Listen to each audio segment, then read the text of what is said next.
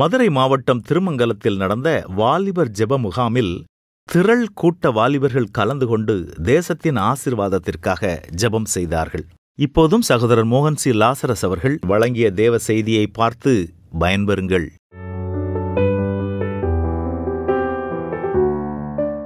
ஆண்டவர் உங்களோடு சொல்ல சொன்ன ஒரு நான்கு காரியம் மாத்திரம். அவரை பற்றி நம்ம தியானிக்கணும் நிறையா இருக்கிறது நாள் கணக்காக தியானிச்சுக்கிட்டே இருக்கலாம். ஆனால் உங்களுக்கு அவர் சொல்ல சொன்ன நான்கு காரியங்களை உங்களோடு பகிர்ந்து கொண்டு நான் ஜெபிக்க போகிறேன். முதலாவது காரியம் யோவான் எட்டாம் அதிகாரம் நாற்பத்தி ஆறாவது வசனம். இயேசுடைய வாழ்க்கை எப்படிப்பட்டதுன்னா குற்றமற்ற ஒரு வாழ்க்கை. இயேசு சொல்லார் யோவான் எட்டு நாற்பத்தி ஆறில் என்னிடத்தில் பாவம் உண்டென்று உங்களில் யார் என்னை குற்றப்படுத்தக்கூடும்? ஓப்பன் சேலஞ்சு கொடுக்கிறார் இயேசு. யாருமே கை நீட்டி சொல்ல துணியவில்லை. உம்மிடத்தில் இந்த பாவம் இருக்கிறது. உம்மிடத்தில் இந்த குற்றம் இருக்கிறது. நீ உம்மிடத்தில் இந்த கோபம் இருக்குது எரிச்சல் இருக்கிறது சண்டை இருக்கிறது வைராக்கியம் இருக்கிறது இச்சைகள் இருக்கிறது. இந்த தவறு இருக்கிறது என்று ஒருவர் கை நீட்டி சொல்ல முடியவில்லை. அப்போ குற்றமற்ற ஒரு வாழ்க்கை வாழ்ந்தவர் இயேசு. நாம் அப்படித்தான் வாழணும்னு அவர் விரும்புகிறார். குற்றமற்ற ஒரு வாழ்க்கை பரிசுத்தமுள்ள ஒரு வாழ்க்கை இயேசுவை போல நாம் வாழணும். ரெண்டாவது யோவான் பதிமூன்று முப்பத்தி நான்கை வாசிக்கும்போது இயேசு சொல்கிறார் நான் உங்கள்கிட்ட எவ்வளோ அன்பாக இருக்கிறேன். நான் அன்புள்ள ஒரு தேவன் அல்லவா?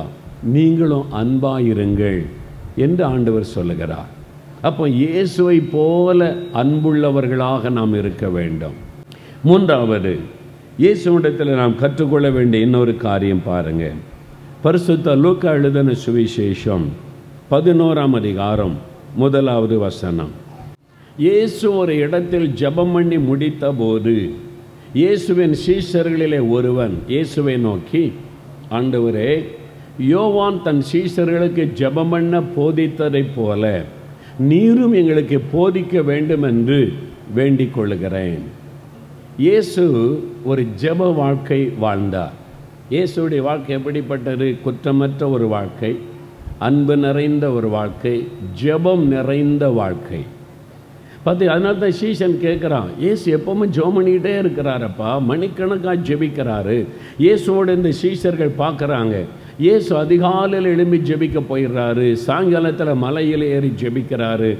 பார்த்தா ராத்திரியெல்லாம் ஜோம் கொண்டே இருக்கிறார். எருசலேமுக்கு போனால் கெர்சமனை தோட்டத்தில் போய் ஜோமணிக்கிட்டே பண்ணிக்கிட்டே இருக்கிறார். எப்பவுமே ஜோமணிக்கிட்டே பண்ணிக்கிட்டே இருக்கிறாரு. நம்ம இந்த மாதிரி ஜெபித்த ஒரு ஆளை பார்த்ததே கிடையாது. நம்ம மோசை குறித்து வாசித்திருக்கிறோம் யோசுவாவை குறித்து வாசித்திருக்கிறோம் ஆபரகாம் ஈசாக்கு யாக்கோபு எல்லாரை குறித்த பைபிளில் வாசித்திருக்கோம். யாருமே இவரை மாதிரி ஜோம் பண்ணது கிடையாது. இப்படி யார் மணிக்கணக்காக ஜெபித்து கொண்டு இருந்தாங்க இதெல்லாம் வித்தியாசமாக இருக்குது. அதை பார்க்குறாங்க. பார்த்த உடனே அவங்களுக்குள்ள ஆசை வருகிறாரு. அவங்களுக்குள்ள ஆசை உண்டாகிறது ஒரு சேஷன் கேட்குற ஆண்டவரே இந்த மாதிரி ஜெபிக்க எங்களுக்கு தெரியலையே. எங்களுக்கு ஜெபிக்க சொல்லி தாரும். என்றவன் கேட்டான். இயேசு உடைய வாழ்க்கை ஜெப வாழ்க்கை. ஒரு நாளை எப்படி ஆரம்பிக்கிறார் பாருங்க. மார்க் ஒன்றாம் அதிகாரம் முப்பத்தி ஐந்தாம் வசனத்தில் மார்க் ஒன்று முப்பத்தி ஐந்து இயேசு அதிகாலையில் இருட்டோடு எழுந்து வனாந்தரமான ஒரு இடத்திற்கு போய் அங்கே ஜெபம் பண்ணினார். இயேசு எப்போ எழுந்து கொள்கிறாராம்? அதிகாலையில். ஏன் ஆண்டவர் வனாந்தரத்துக்கு போகிறார் தனியாக ஜெபிக்கணும். இந்த பன்னெண்டு பேர் இருக்காங்க சீஷர்கள். இவர் ஜெபிக்க ஆரம்பித்து அவங்க டிஸ்டர்பன்ஸ் ஆகிடுவாங்க எழுப்பி உட்காந்து அப்படி என்னப்பா பண்ணுறது ஏசு காலையிலேயே ஜெபிக்கிறாருப்பா. நம்மளையும் தூங்க விட மாட்டேங்கிறாரு அவரும் தூங்க மாட்டேங்கிறாரு அப்படின்னு நினச்சிருப்பாங்க. ஏசு அவங்ககிட்ட முதல்ல கண்டிப்பாகவே இல்லை. எல்லாம் எழும்புங்க எழும்புங்க நாலு மணிக்கு என்ன தூங்குறீங்க? எலும்பு நான் ஜெபிக்க போகிறேன் எல்லாம் ஜோம் பண்ண அப்படின்னு ஏசு சொன்னாரா? சொல்லவே இல்லை. கெர்சமனை தோட்டத்துக்கு கூட்டிகிட்டு போகிறார் நான் போய் ஜோம் பண்ண போகிறேன் எல்லோரும் முழங்கால் போடுங்க. பதினொன்று பன்னெண்டு பேர் முழங்கால் போட்டு ஜெபிச்சுக்கிட்டுங்க நான் வரும் வரைக்கும். ஏசு அப்படிலாம் சொல்லவே இல்லை. நீங்கள் உட்காந்துருங்க நான் போய் ஜெபிச்சுட்டு வரேன்றார். இயேசு ஜெபிக்கிறத பார்த்து பார்த்து பார்த்து அவங்களுக்குள்ள ஆசை உண்டாகிறார். இயேசு இப்படிலாம் ஜெபிக்கிறாரப்பா நம்மளும் ஜெபிக்கணுன்ற ஆசை உண்டாகிறாரு. அப்போ இயேசுவை நீங்கள் பார்த்தீங்கன்னா அவரை போல் இப்போ ஜெபிக்கணும்னு ஆசை வந்துவிடும். அதிகாலையில் ஜெபிக்கிறார். மற்ற பதினான்காம் அதிகாரம் இருபத்தி மூன்றாம் வசனம் வாசிக்கும் போது சாயங்காலமான போது இயேசு தனித்து ஜெபம் பண்ண ஒரு மலையின் மீது ஏறி தனிமையாயிருந்தார். மத்திய பதினான்கு இருபத்தி மூன்று. காலையில் ஜோம் பண்ணியாச்சு முடிந்ததுன்னு இருக்கலை இருக்கல சாயங்காலத்தில் மலையின் மேல் ஏறி தனிமையாக ஜோம் பண்ணுகிறாராம் லூக்கு ஆறாம் அதிகாரம் பன்னிரெண்டாம் வசனம் வாசிக்கும் போது இயேசு ஒரு மலையின் மீது ஏறி இரா முழுவதும் ஜோம் பண்ணி கொண்டிருந்தார். இரவு முழுவதும் ஜெபித்து கொண்டிருக்கிறார். என்னப்பா இது? ஒரு ராத்திரி முழுவதும் ஜோம் பண்ணி கொண்டே இருக்கிறார். யோசித்து பாருங்க. அதிகாலையில் ஜெபிக்கிறார் சாயங்காலத்தில் ஜெபிக்கிறார் இரவெல்லாம் ஜெபித்து கொண்டிருக்கிறார். ஜெபம். இயேசு குறித்து வேத அறிஞர்கள் ஒன்று கண்டுபிடிச்சு சொல்லி இருக்கிறாங்க இயேசு ஒரு நாளைக்கு குறைந்தது நான்கு மணி நேரம் தண்ணி ஜெபம் பண்ணினாராம். எவ்வளோ நேரம் ஜபம் பண்ணாராம்? நான்கு மணி நேரம் தனி ஜெபம் பண்ணினாராம். நம்மளை அந்த மாதிரி ஜெபிக்க சொல்லலை. குறைந்தது ஒரு மணி நேரம். குறைந்தது ஒரு மணி நேரமாவது ஜெபிக்கணும்னு சொல்லி இயேசுவை போல ஜெபிக்க உங்களை அர்ப்பணித்துக் கொள்ளுங்க. இயேசுவை போல ஜெபிக்க அதிகாலையில் எழுப்பி ஜெபிக்க உங்களை அர்ப்பணித்துக் கொள்ளுங்கள் ஒரு காலேஜில் படிக்கிற ஒரு வாலிப தம்பி ஒரு முறை அவளை சந்தித்து பேசி கொண்டிருக்கும் போது நீங்கள் எப்போ ஜோம் பண்ணுவீங்க? அப்படின்னு கேட்டேன். அந்த தம்பி சொன்னாங்க அது காலையில் அதிகாலையில் எழும்பி ஜோம் பண்ணுவேன். அதிகாலையில் இருட்டோட எழும்பி நான் முதலாவது முழங்கால் படிக்கிட்டு ஜோம் பண்ணுவேன். நான் கேட்டேன் எவ்வளோ நேரம் ஜோம் பண்ணுவீங்கன்னு கேட்டேன். எவ்வளோ நேரம் காலையில் ஜெபம் பண்ணுவீங்க? சிலர் அரை மணி நேரம் ஒரு மணி நேரம் அப்படிலாம் சொல்லுவாங்கல்ல அந்த தம்பி வேறு மாதிரி சொன்னான். எனக்கு ரொம்ப ஆச்சரியம். அந்த தம்பி சொன்னால் ஆண்டவர் என்னோடு பேசும் வரைக்கும் ஜெபம் பண்ணுவேன். இயேசு என்கிட்ட பேசணும். அவருடைய குரலை நான் கேட்கணும். அது வரைக்கும் நான் ஜோம் பண்ணுவேன். இயேசு என்கிட்ட பேசணும். இயேசு பேசுவாரா? அல்ல லூயா இயேசு பேசுவாரா இல்லையா? இயேசு உங்கள்கிட்ட பேசுவான்னு உங்களுக்கு விசுவாசம் இருக்குது. அப்போ இயேசு பேசுகிறத நீங்கள் கட்டாயம் கேட்டே ஆகணும். அப்போ அதற்கு அதிகாலையில் எழும்பி காத்திருக்கணும். அதிகாலையில் என்னை தேடுகிறவர்கள் என்னை தேடுகையில் என்னை கண்டுபிடிப்பார்கள்.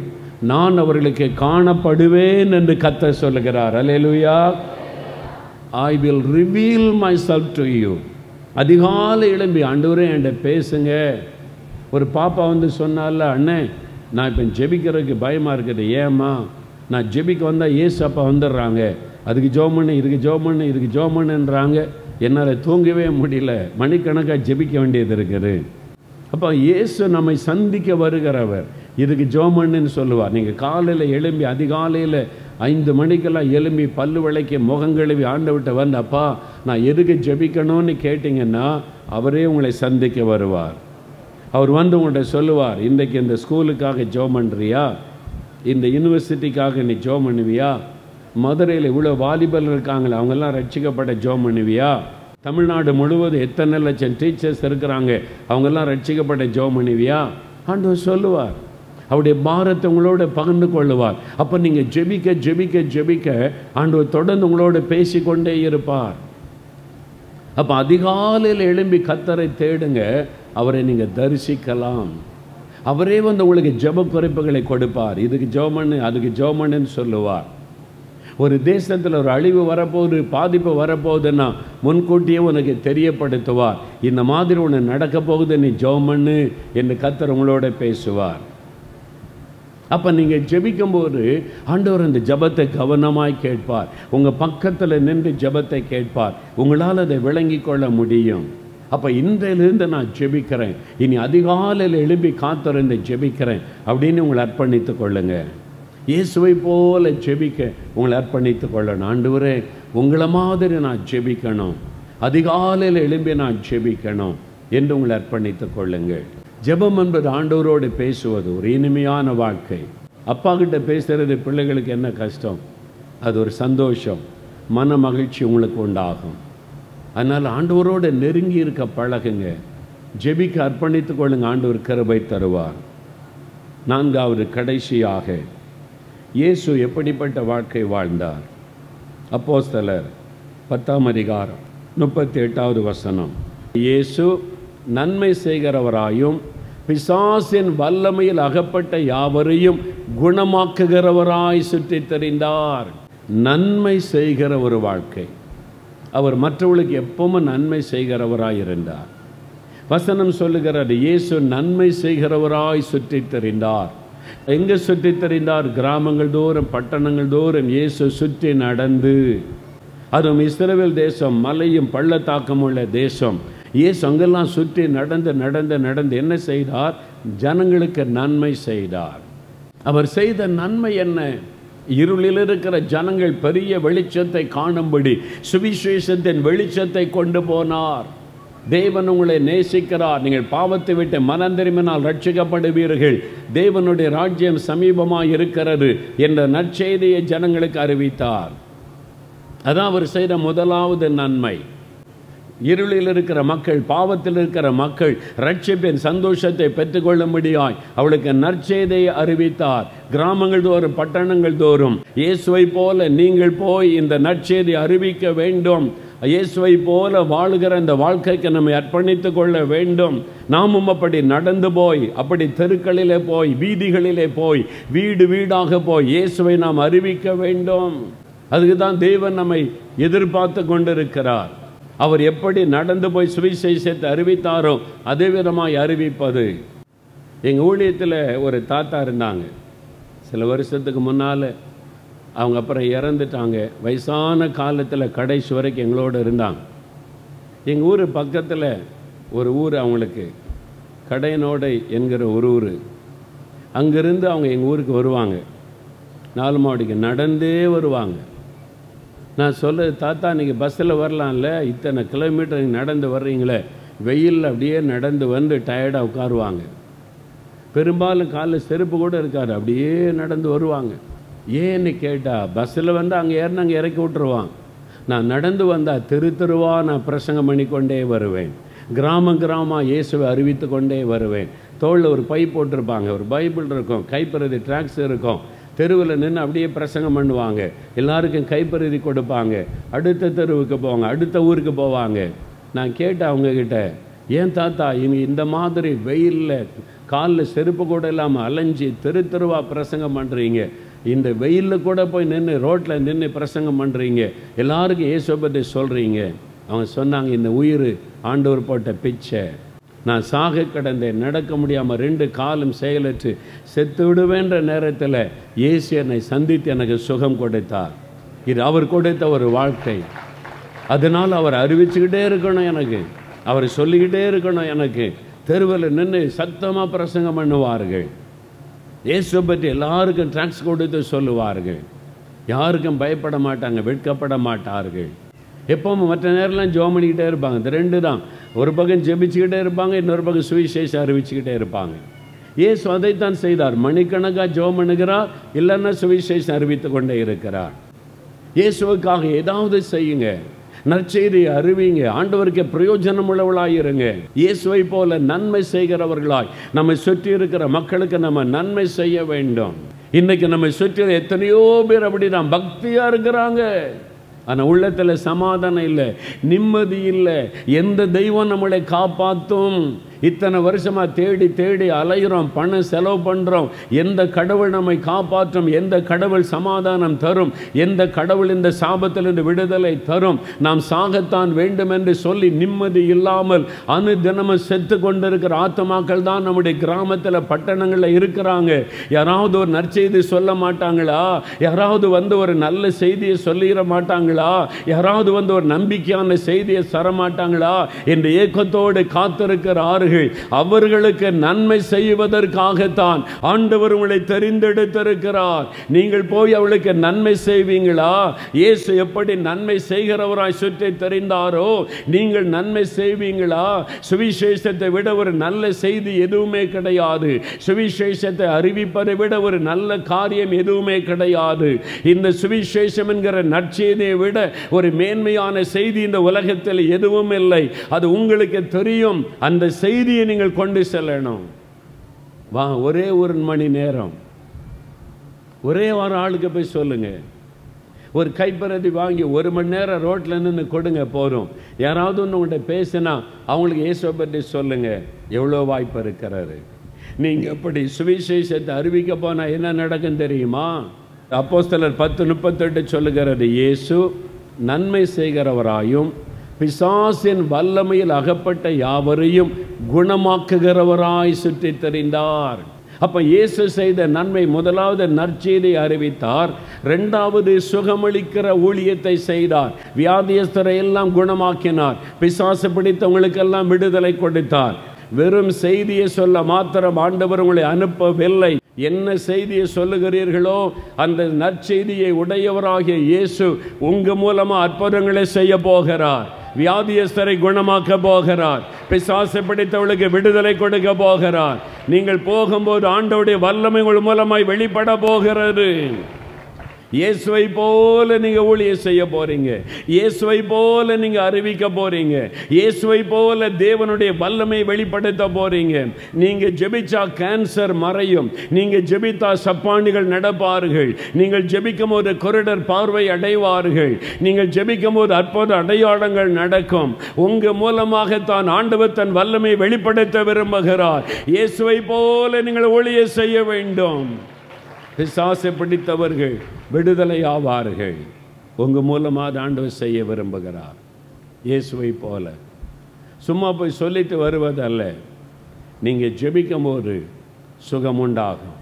நான் வியாதி படுக்கையில் சாக கடந்த போது ஒரு பாஸ்டர் ஆண்டவர் அனுப்பலை ஒரு போதகரை அனுப்பலை ஒரு மிஷினரி அனுப்பலை ஒரு ஃபேக்ட்ரியில் வேலை செய்து கொண்டிருந்த ஒரு வாலிபன் ஒரு கம்பெனியில் வேலை செய்து கொண்டிருந்த ஒரு வாலிபனை கத்தர் எங்கள் வீட்டுக்கு அனுப்பினார். அந்த வாலிபன் வந்தார். அவர் ஊழியக்காரர் அல்ல ஒரு கம்பெனியில் வேலை செய்து கொண்டிருக்கிறவர். எங்கள் அம்மா சொல்கிறாங்க என் மகன் செத்து போவான் என்று டாக்டர்கள் சொல்கிறாங்க இயேசுகிட்ட ஜெபம் பண்ணுவியா நான் போய் வேற யாராவது கூட்டிகிட்டு வரேன்னு சொல்லலை நான் ஜெபம் பண்ணுகிறேன் அவர் முழங்கால் படியிட்டு ஜெபித்த போதுதான் இயேசு எங்கள் வீட்டுக்குள்ளே வந்தார். என்னை தொட்டார். எனக்கு அற்புத சுகம் கொடுத்தார். நான் ஊழியக்காரனாய் மாறி நிற்கிறேன். காரணம் என்ன? ஒரு வாலிபன். உங்களை போல ஒரு வாலிபன் ஜெபம் பண்ணும்போது தான் எனக்கு இந்த அற்புதத்தை இயேசு செய்தார். ஒரு கம்பெனியில் வேலை செய்து கொண்டிருந்த வாலிபன். அப்போ உங்களை கொண்டு தான் ஆண்டவர் பெரிய அற்புதங்களை செய்ய போகிறார். வாலிப மகளே உன் மூலமாகத்தான் உங்களுடைய தெருவில் உங்கள் கிராமத்தில் உங்கள் ஸ்கூலில் அற்புதம் நடக்க போகிறது. ஆண்டவர் தன் வல்லமையை உனக்கு கொடுத்து தன் வல்லமையினாலும் வரங்களினாலும் உன்னை நிரப்பி உன்னை பயன்படுத்த போகிறார். ஆவிக்குறை ஒன்பது வரங்கள் ஞானத்தை போதிக்கும் வசனம் அறிவை உணர்த்துகிற வசனம் அற்புதங்களை செய்யும் சக்தி குணமாக்கும் மரங்கள் விசுவாசம் தீர்க்க தரிசனம் உரைத்தல் பற்பல பாஷைகளை பேசுதல் பாஷைகளை வியாக்கியானம் பண்ணுதல் ஆவிகளை பகுத்தறிதல் ஒன்பது வரங்கள். இந்த வரங்கள் யாருக்காக? ஊழியர்களுக்காக மட்டும்தானா? கத்தருடைய போதகர்களுக்கு மட்டும்தானா? இல்லை விசுவாசிகளுக்கும் இந்த வரத்தை ஆண்டவர் கொடுக்கிறார். ஆண்டவரை ஏற்றுக்கொண்ட ஒவ்வொரு விசுவாசிகளும் இந்த ஒன்பது வரத்தையும் பெற்றவர்களாக இருக்க முடியும். யாருக்கு ஆண்டவர் கொடுப்பார்? யார் சுவிசேஷத்தை அறிவிப்பார்களோ அவர்களுக்கு தான் இந்த வரம். இயேசுவை யார் மற்றவர்களுக்கு அறிவிப்பார்களோ அவர்களுக்கு தான் இந்த வரம். இன்றைக்கு ஆண்டவர் தன்னுடைய வல்லமையினால வரங்களினால் உங்களை நிரப்ப போகிறார். இனி நீங்கள் போகிற இடமெல்லாம் அற்புத அடையாளங்கள் நடக்க போகிறது. உங்களுடைய வாயிலிருந்து ஒரு வார்த்தை புறப்பட்ட உடனே அசுத்தாவி வெளியேறும். உங்களுடைய வாயிலிருந்து ஒரு வார்த்தை புறப்பட்ட உடனே மரண கட்டுகள் மாறும். ஒரு வாயிலிருந்து ஒரு வார்த்தை நீங்கள் சொன்ன உடனே வியாதியஸ்தர்கள் சுகமாவார்கள். உங்களை தான் பயன்படுத்த போகிறார் வாலிப தம்பி. வாலிப மகளே உன்னை தான் ஆண்டவர் பயன்படுத்த போகிறார். நீ இயேசுவை போல மாற உன்னை ஒப்பு கொடுத்தால் அவரை போல ஊழியத்திலே ஆண்டவர் உன்னை பயன்படுத்துவார். தேவன் தன்னுடைய பரிசுத்த ஆவினாலும் வல்லமையினாலும் இயேசுவை அபிஷேகம் பண்ணி இருந்தார் அந்த அபிஷேகத்தை உங்க மேல இன்றைக்கு ஆண்டவர் ஊற்ற போகிறார் அல்லேலூயா. யோவான் மூன்றாம் அதிகாரம் முப்பத்தி நான்காம் வசனத்தில் தேவன் தன்னுடைய ஆவியை இயேசுவுக்கு அளவில்லாமல் கொடுத்திருந்தார் என்று.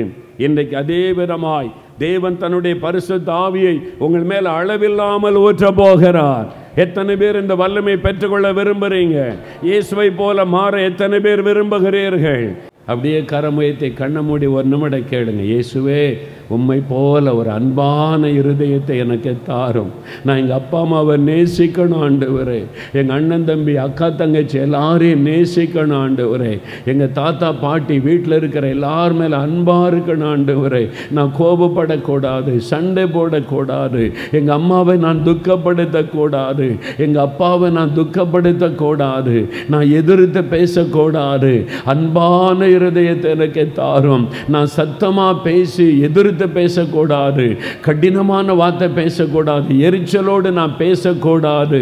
அன்பா நான் பேசணும் ஆண்டவரே உம்முடைய அன்பு எனக்கு தாரும் ஆண்டவரே. கேளுங்க கேளுங்க கேளுங்க. இன்னும் ஒரு நிமிடம். உம்மை போல இயேசுவே என்னை மாற்றும். கேளுங்க கேளுங்க. இயேசுவே உம்மை போல நான் ஜெபிக்கணும். அதிகாலை எழும்பி ஜெபிக்கணும். சாயங்காலத்தில் நான் ஜெபிக்கணும். எப்போவுமே நான் ஜெபம் பண்ணிக்கிட்டே இருக்கணும். இயேசுவே உண்மை போல என்னை மாற்றுங்க. எனக்கு ஜபாவியை தாங்க. கேளுங்க தாகத்தோடு கேளுங்க. ஆண்டவர் எனக்கு சொல்லுகிறார் என் பிள்ளைகள் என்னை போல மாற விரும்புகிறார்கள். இவர்களை மாற்றுகிறவர் பரிசுத்தாவியானவர். ஆவியானவரை என் பிதா எனக்கு அளவில்லாமல் கொடுத்திருந்தார். இப்பொழுது அதே விதமாய் என் பிள்ளைகளுக்கு நான் ஆவியானவரை அளவில்லாமல் ஊற்றப் போகிறேன். ஆண்டவர் சொல்லுகிறார் இப்பொழுது இப்பொழுது இப்பொழுது. இப்பொழுது ஆவியானர் ஊற்றப்பட ஆரம்பித்து விட்டார். பெற்றுக்கொள்ளுங்க பெற்றுக்கொள்ளுங்க. ஆவியினால் நிரப்பப்படுகிறீர்கள். Receive the power of the Holy Ghost receive the anointing of the Holy Ghost அளவில்லாமல் அளவில்லாமல் ஆவியானவரை பெற்றுக்கொள்ளுகிறீர்கள்.